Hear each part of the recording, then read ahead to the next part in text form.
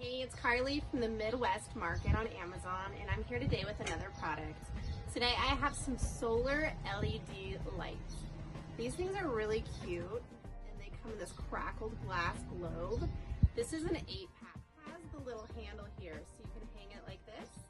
And they're so easy to use. All you gotta do is twist off, and there is a power button here that you can turn it on and off. And all you gotta do is twist it back on